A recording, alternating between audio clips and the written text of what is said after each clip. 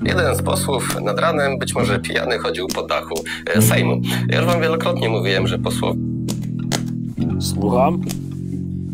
To jeszcze niedawno panu wyciągali jakieś błahe sprawy. I wtedy pana broniłem. A pan teraz robi to samo. Wpisuje się w ten medialny, szkodliwy trik. Odwracania uwagi ludzi od rzeczy poważnych i od poważnych, bardzo szkodliwych często działań polityków na rzeczy błahe. I to jeszcze na takie insynuacyjne, bo nie wiadomo, co on tam robi. Jakbym się zdenerwował, wkurzył, to też bym mógł sobie wyjść na dach. Jak wiem cię z was, po prostu. Wyjść sobie popatrzeć. Rano spokój, fajnie. A już robią historię z jakiejś błahej sprawy. Panu też robi. I wtedy pana broniłem. Niech pan nie robi tego samego wobec innych, co wobec pana robią. To samo pan robił, gdy pan sobie śmieszkował z sześciu króli Ryszarda Petru. Przecież to jest błaha sprawa. To jest przejęzyczenie. A niektórzy urobili to do rangi jakiegoś wielkiego, wielkiej głupoty. Osoby, która to wypowiada. Jeśli krytykować ludzi, to za to, co robią poważnie, a nie za takie błahe sprawy. Bo wy w ten sposób uczycie ludzi tej głupawy. Przyzwyczajacie ich do oceniania po głupotach. W ten sposób i pana zaraz za głupotę jakąś zmiotą z powierzchni. Bo rozdmuchają ją do rangi, jak to ciągle robią. Nie wolno brać w tym udziału. Tak samo jak ci, którzy narzekają, że są obrzucani insynuacjami i słusznie się bronią o rasizm, o faszyzm, o antysemityzm i tak. Ci również z panem skłóceni, którzy nagle komuś sugerują po nazwisku banderyzm. Jakim prawem to robią? Co to ma być? My mamy uczyć ludzi zasad.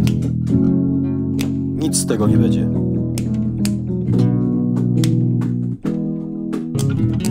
Nie mów fałszywego świadectwa przeciw bliźniemu Twemu. Niech Pan sobie to zapamięta. Niech Pana koledzy również z, pana, z Panem skłóceni sobie to zapamiętają. Wszyscy sobie to zapamiętajcie, bo sami to wobec siebie robicie. Jak tego Pana kolegę oskarżyli, że zaatakował kobietę, to Pan go nie obronił.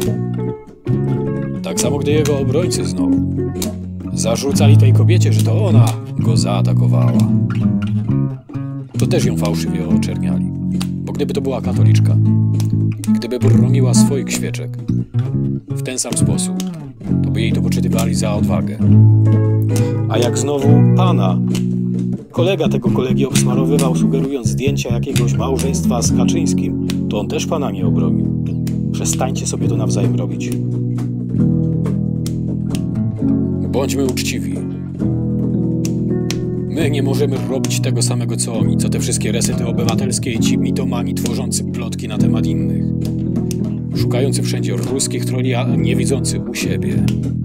Nie bądźmy jak oni. Pokażmy im, jak należy się zachować, bo tak tylko stworzymy nowy świat. I na tym polegało to, co nam pokazał Pan Jezus, gdy wszyscy wymagali, bo On został tutaj bohaterem uwalniającym ich spod okupacji rzymskiej. I chcieli Barabasza. Jego chcieli uwolnić. Ale On im pokazał nie.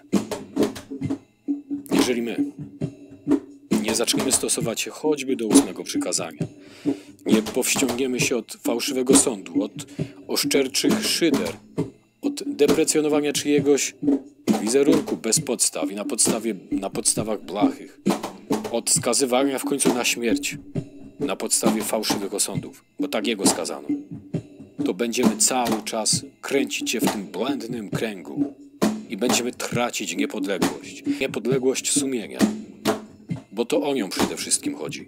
To po to mamy państwo, byśmy w tym państwie mogli żyć po naszemu i wierzyć po naszemu. Jeżeli o tym zapomnimy, to za kilka pokoleń to wszystko dalej będziemy tracić. I tak do końca świata. Musimy od tego zacząć. Od uczciwości, od zachowywania się z godnością. To my mamy wyznaczać standardy, nie ulegać ich miałkim metodom. Nie wolno nam. Cel nigdy nie uświęca środków. Nie wolno nam deprecjonować innych? Szyderą, emocją? Gdy to jest błahe, gdy to jest niesprawdzone? Nie wolno nam. Gdy nie chcemy wysłuchać drugiej strony. A rzucamy weter, że się skompromitowała, że jest taka, siaka, owaka, to idzie. To zabija ją społecznie. Jeżeli wy sami doświadczyliście tej niesprawiedliwości, to nie róbcie tego wobec innych. Nigdy.